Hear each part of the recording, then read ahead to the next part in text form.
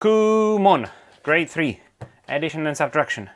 Your typical Kumon fare. Nice jacket, about 80, there you go, 100 pages with the solutions. Solutions at the back. Um, green, black and white on the inside. Um, take your solutions, cut them out, uh, carry them as you go. What does it cover? Two digit, two digit addition, three digit addition, four digit addition, and the same uh, for subtraction. Um, loads and loads and loads of work. Kids really benefit from this.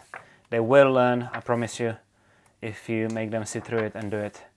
Um, these are excellent books um, for picking up the skills.